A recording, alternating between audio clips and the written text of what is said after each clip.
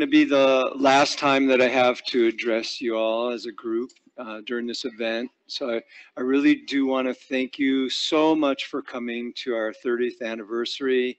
Um, so many of you said so many kind things to me. It, it really warms my heart. Thank you so much. Um, it's been such a pleasure to see old friends, new friends. I hope you've made friends. Uh, it's been just a great weekend for us all. So thank you so much. Thank you. So as promised last night and throughout the last few days, um, we have a, a drawing and uh, someone's going to win um, a free symposium for next year. And I have the pleasure of saying that Kan uh, Herb Company, they're so generous. They're actually contributing uh, $350 to someone's uh, pass for next year as well. So they're basically almost like two free symposiums. So that's really nice. Um, is Kan anybody from Kan here? No. So you know where their booth is. Go say hi and thank you. So let's see who, hopefully it's somebody here. You didn't have to be present for this one. Let's see.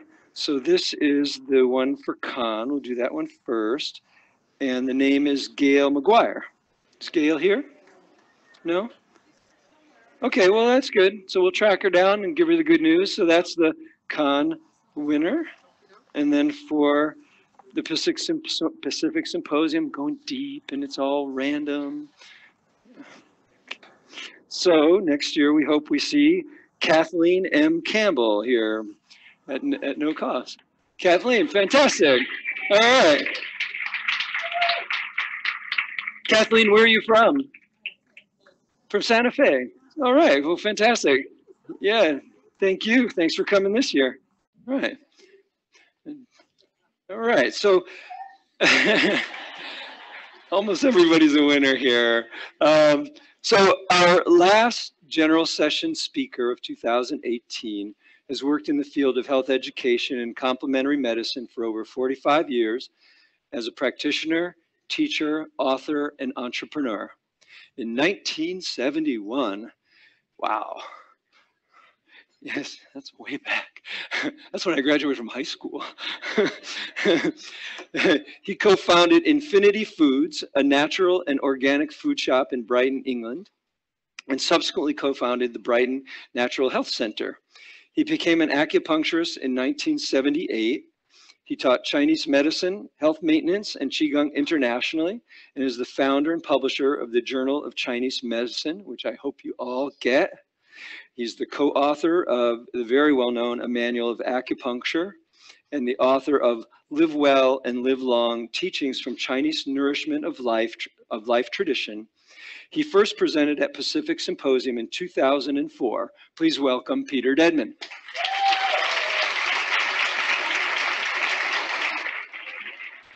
A couple of years ago, I published this book that Jack mentioned, Live Well, Live Long.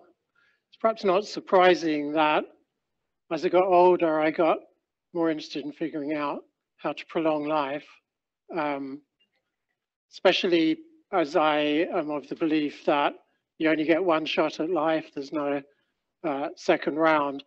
But actually, um, my interest in the tradition of health maintenance goes back to the very beginning of my career, uh, as Jack mentioned.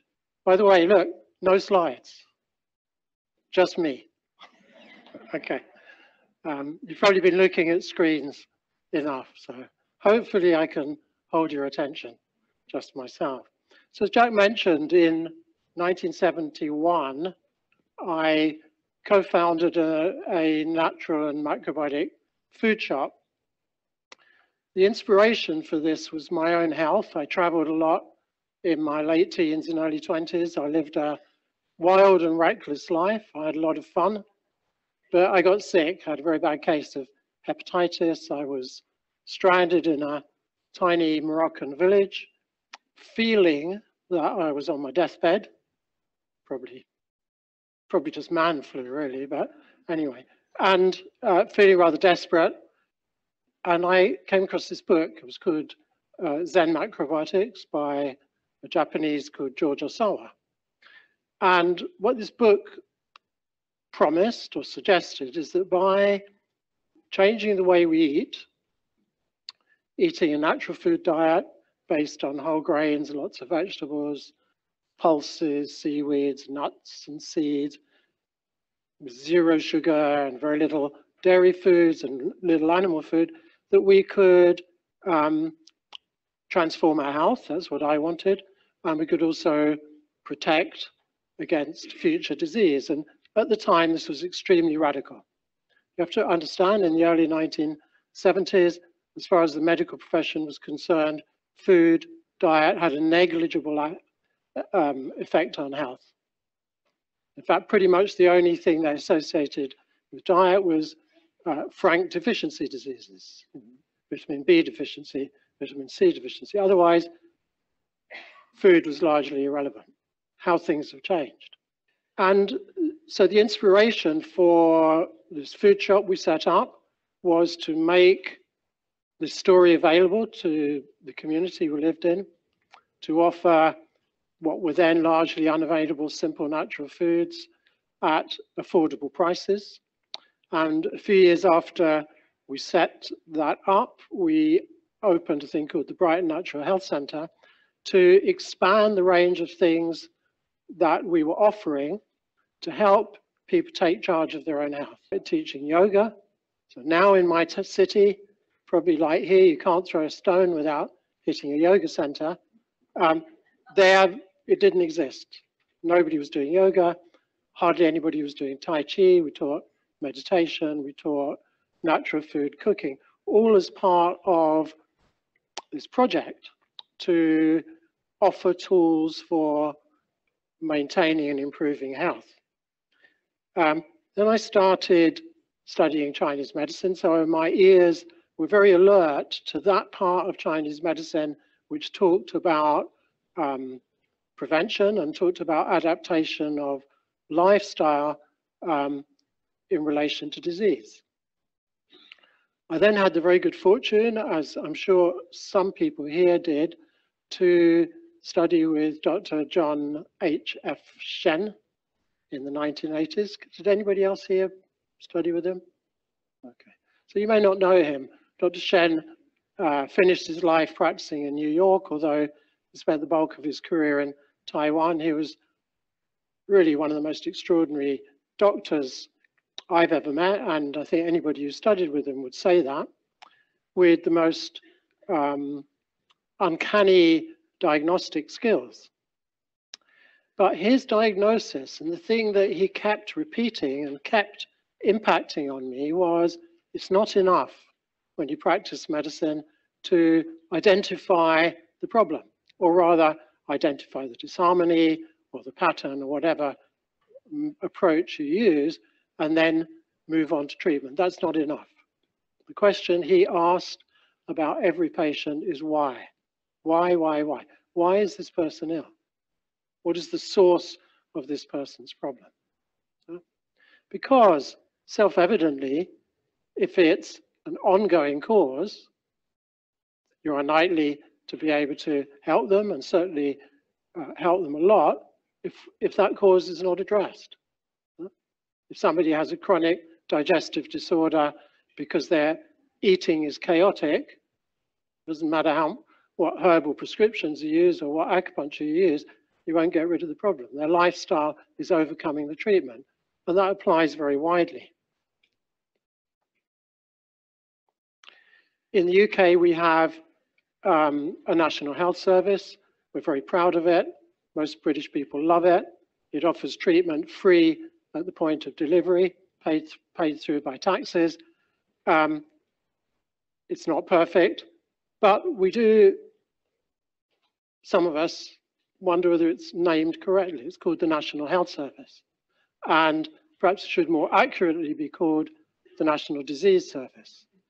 Um, we spend an average of over a bit over $2,000 per person on treatment and about 60, that's per year, and about $60 on um, health prevention or disease prevention and health education.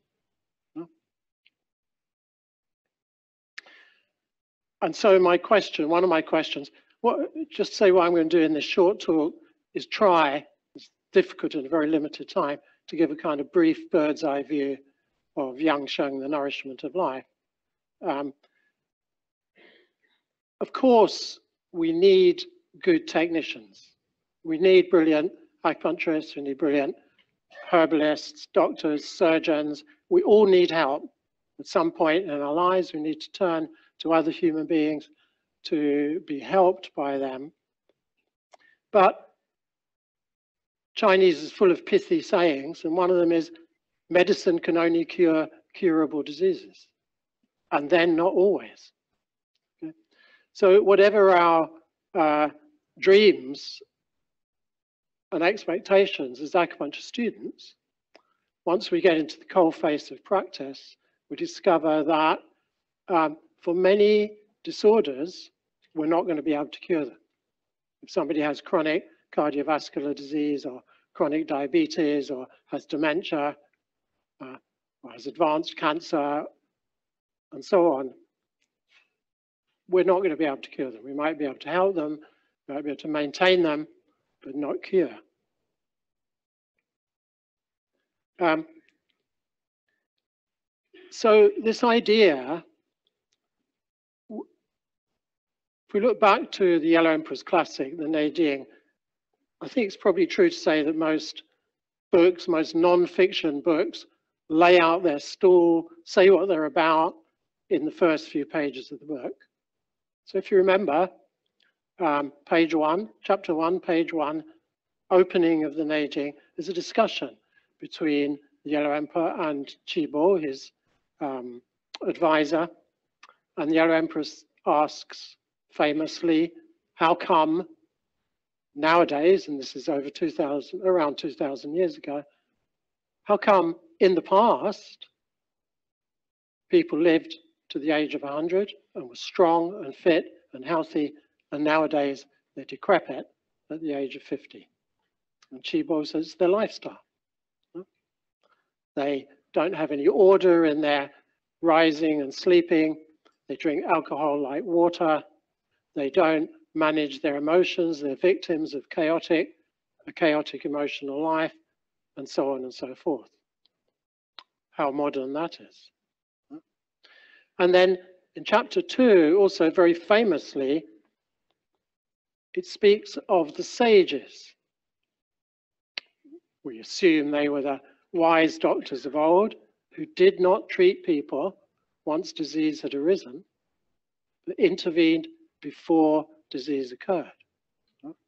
Treating after disease has arisen, it says, is like only starting to dig a well when you're already thirsty or dying of thirst, or only starting to forge weapons once the battle is raging all around you. So, what's the situation today? If you sit in any um, national health ministry with a, with a, uh, a report, st statistical report about um, chronic non-infectious disease, you're going to be terrified. We're suffering, the world is suffering from an epidemic of non-infectious diseases. Cancer, diabetes, um, obesity, depression, strokes, cardiovascular disease, and so on. And the bad news is that the incidence of these diseases is rising everywhere in the world. So uh, not just in the developing world, what's happening, what's been happening in the developing world is as Western lifestyles, which I would say is predominantly Western diet, modern Western diet, secondarily lack of exercise and various new kinds of stress wherever that spreads, these chronic diseases rise and are beginning and will present an unbearable economic burden. But um, it's the same here. Uh, take cardiovascular disease, for example, it's the biggest killer worldwide.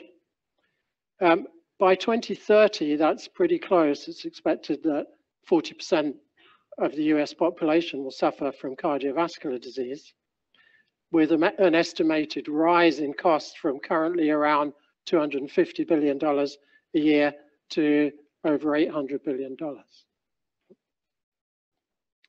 dementia, 44 million people now with suffering from dementia expected to rise triple to triple by 2050.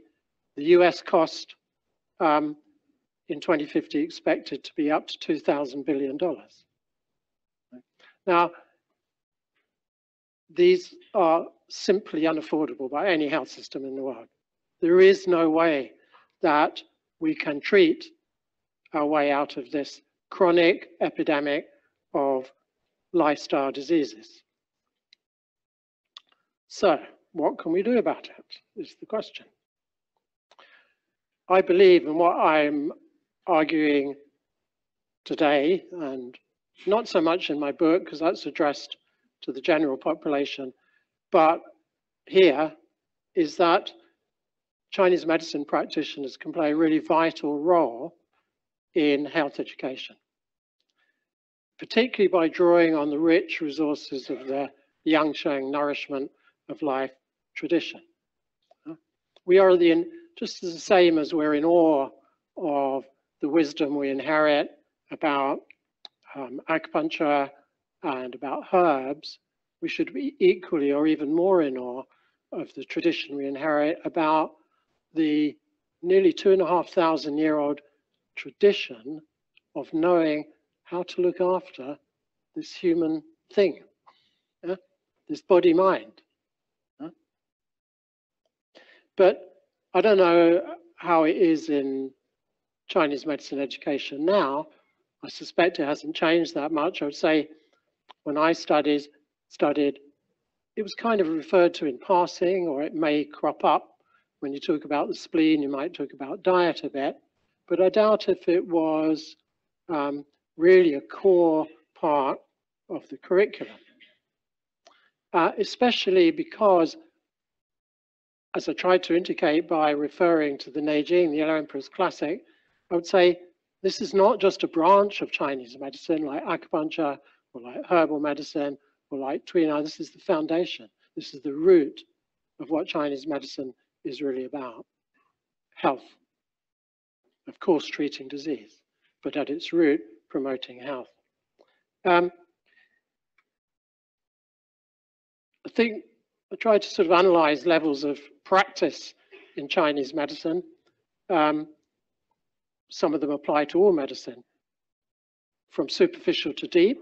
So the most superficial, I think we all generally agree is, uh, although very useful sometimes, treating empirically, treating locally. Some of the things that Wet was talking about are empirical and local treatments, and they're brilliant. They have their place. And then if we go deeper, we can say that we, we start to use differentiation and, and I don't like to use the word shallow maybe again, but maybe something like that. The first level of differentiation that people use a lot is channel differentiation. What is the disease channel? There are all these systems out there of treating channel-based diagnosis and treatment through palpation, uh, Dr. Tan, Tung acupuncture, meridian wave acupuncture. There's loads, I don't know them all. Huh? So that's the kind of the first level of differentiation. But I would say deeper than that is differentiation of patterns according to the Zang Fu, to Qi and blood, and body fluids, and so on. And why is that deeper? Well, because first of all, it's invaluable in treatment. It points forwards to the treatment. If you have yin deficiency, you diagnose the pattern of yin deficiency, you know some part of your treatment will be to nourish yin. But just as importantly, it points backwards to possible causation. A patient with uh, yin deficiency will have different causes of disease than a patient who has liver qi stagnation. And therefore, the adaptations they might need to make in their behavior and lifestyle are going to be different. Yeah? Somebody has phlegm and dampness, you may focus a lot on diet, for example.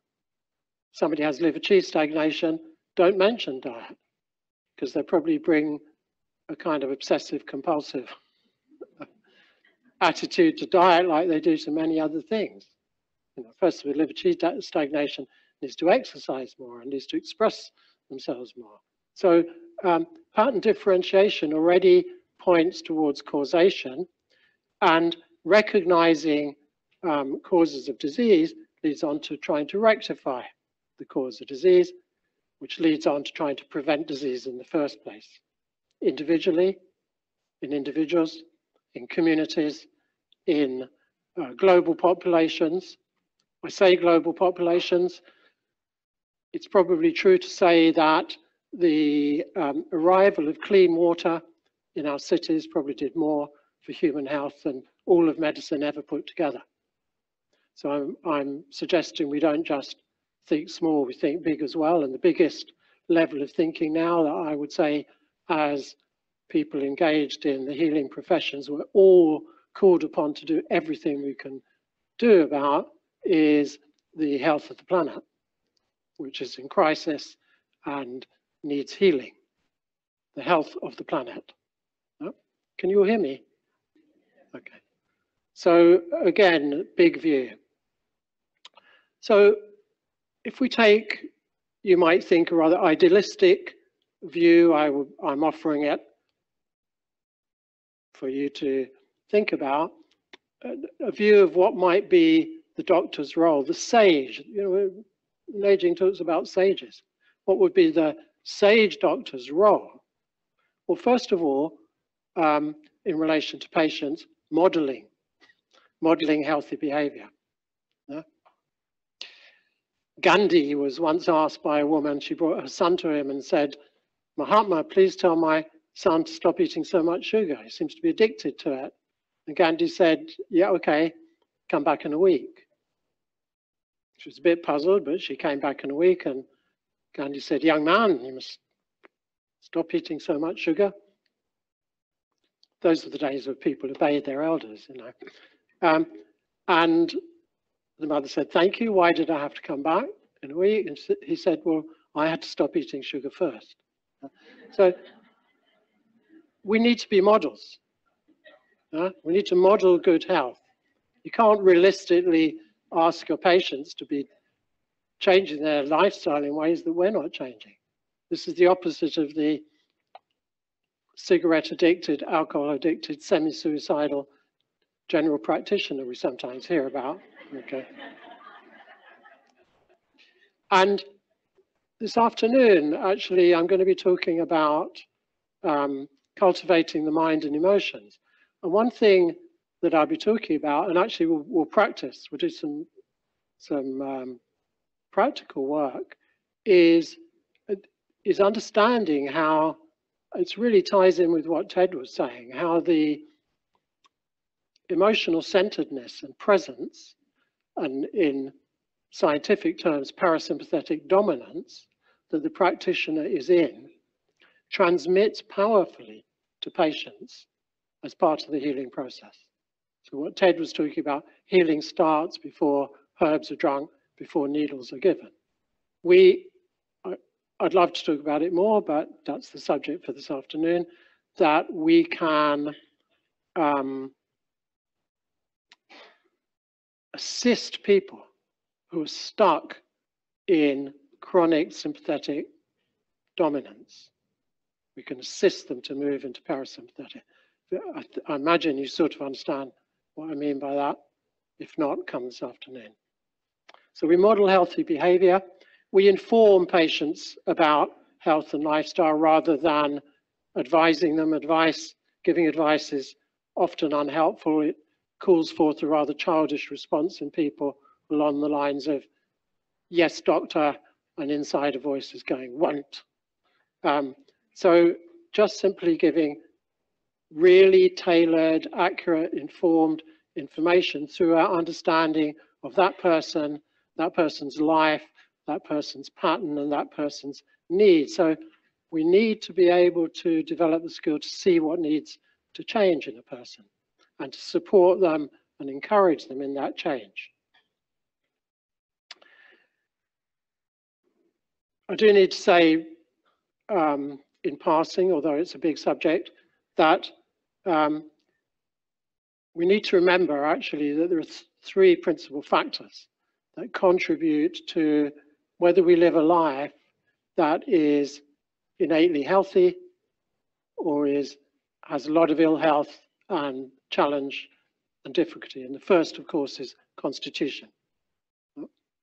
We're all born with different constitutions.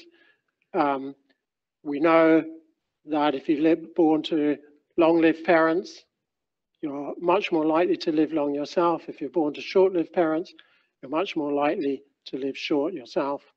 And there are many kinds of disease we can um, develop for genetic and constitutional reasons. That's pre-heaven Jing. Also remember that pre-heaven Jing doesn't just come from the mating of the parents, it can also be significantly affected by uterine life.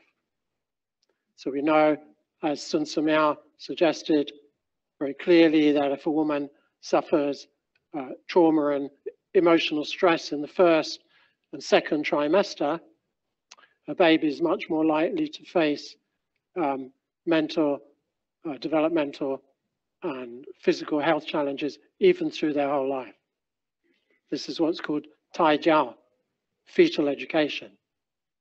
So again, um, this is something we need to know, something we need to do our best to help patients with. And if we want to engage on a bigger scale, we want to support a political and economic system that supports women in pregnancy and supports family lifestyles. Um, so that's pre-heaven Jing, but the good news, the good news is pre-heaven is only one kind of Jing. There's another kind, which is post-heaven So post-heaven where does that come from? Well, we absorb it once we're born. First thing we do is breathe. Second thing we do is suckle. We absorb post-heaven from food, from air, uh, from nourishment, in other ways, from love, from nature, um, and so on. And if our organs are healthy, if the Zangfu are strong and healthy, we're good transformers of this nourishment we receive from our environment. We're good transformers of that into qi. And then if we don't dissipate, we don't waste, we don't exhaust ourselves, we don't um, allow ourselves to be the victim of chaotic emotional life and so on, then the story is, the Chinese story is that qi is transformed into post-heaven Jing, particularly when we sleep, when we meditate, when we slow, deep breathe, when we do internal practices. So when we're very quiet, that's when we can build up postnatal Jing. So this is the explanation of why even if we have a, um, even if we're challenged by a less than powerful constitution, we can transform our health and we can live longer and live well into old age. So the other factor that must be emphasized too is luck. Um, constitution is luck. We didn't decide unless you believe in karma, we didn't decide um, who we were going to be born to, but luck operates in many other ways. I mean, if a child is born to into a poor family, it's likely to be uh, of lower birth weight, and simply because of that is likely to live shorter and to have a higher risk of chronic disease, uh, mental and physical disease. And that's passed on generation after generation because the child born um, for low, with low birth weight, a girl who then goes on to have babies, her baby is likely to be born uh, with a low birth weight too. So social conditions make an enormous difference. Yeah? There's, a, there's a saying in London that, I don't know who's been to London, but we have a what we call an underground or a metro, that every stop on the metro, or the underground, from um, Kensington and Chelsea, the richest part of London, every stop, you lose a year of life expectancy until you get to about 11 or 12 stops. That's simply social conditions in poverty. And of course, there's many other things as well, environment.